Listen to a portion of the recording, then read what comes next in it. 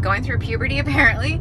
It's Saturday, June 13th. I'm nine weeks out from my next competition, the Golden State Championships, and I'll have you know I already recorded all of this, but somehow my finger hit the hit the stop button. So I'm gonna try and make it brief and remember what I said. Um, but basically, I'm feeling really good. I'm feeling positive and optimistic. I lost a half a pound, and I've been on the same macros for two weeks straight. So I don't know that coach is gonna adjust them. If he does, that's fine with me. I'm feeling good about my macros in that it's not difficult to meet them and um, just a little bit hungry, but totally cool with that. And I really feel like it's all about your mindset and just keeping that mindset, you know. Um, as far as like willpower and planning ahead and setting, you know, your meals out or whatever, like having what you're going to eat for the next day in MyFitnessPal commit to that, do that, know that's what you're having. If there's something sweet that you're kind of craving, just, you know, for me, I tell myself, oh, well, maybe I'll like have a portion of that tomorrow or, you know, find, you know, just different things like that can wait until tomorrow. I don't have to have that right now.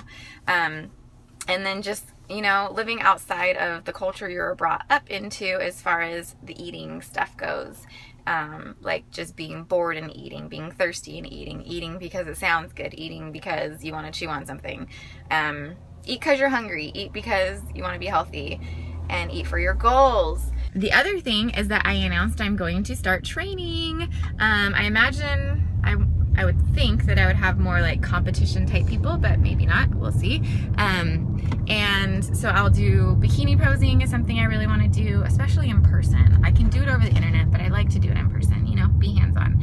And um, so I'll be doing online coaching as well as in person coaching. Um, and it's a really good distraction from my own prep and it'll help everything go by a lot faster.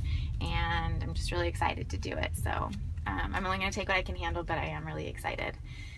What was the other thing? Um, oh, so I always check the average weight each week, but on Excel it's really easy to do the average, um, like calories, carbs, fats, and proteins, and I kind of look at that and see what's going on.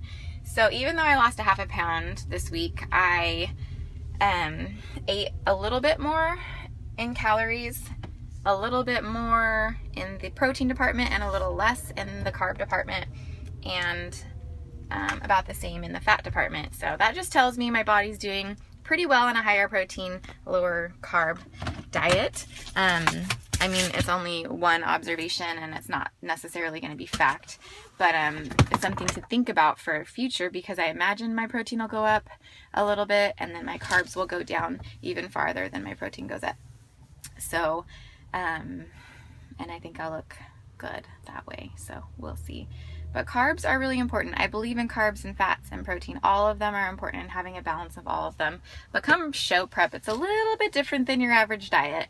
Um, so especially the closer and closer you get, um, you start to get into slightly unhealthy levels of uh, macros and that's because you're trying to get into a slightly unhealthy level of body fat and then you come up out of that. But it's for a short period of time. So I think it's good for your body to hit an extreme every once in a while. Kind of like when I started the diet, I went to extremely high macros. And then, you know, it's just good to kind of like freak your body out for a second. Um, so anyways, I'm going to go do some legs and it's my um, off day technically because I already completed all my workouts this week but I'm gonna do it for the 50 grams of carbs that I wouldn't be eating on a rest day and for fun and it's already 8.30 and I've been up since 6 freaking around in my house doing posing, emailing Mark, cleaning, blah blah blah, having my protein pancakes. They're so good. Um, so I'm gonna get in there because it's gonna take me forever to start work today because I do have work today, so I won't be home until like late tonight. Hopefully I don't have the hours. Anyways, I will See you later.